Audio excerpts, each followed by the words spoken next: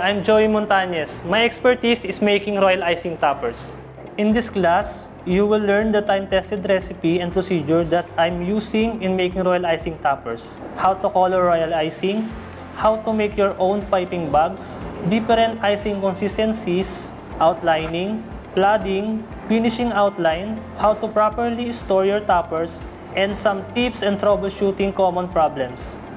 At the end of this class, we will be able to finish 5 royal icing toppers that you can use to make your cake extra special. So, let's get started.